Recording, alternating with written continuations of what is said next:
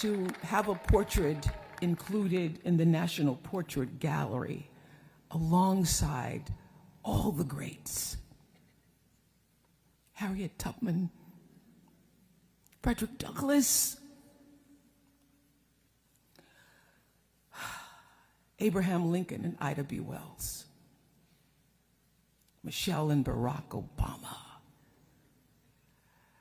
Lena Horne, John F. Kennedy, Oprah Winfrey.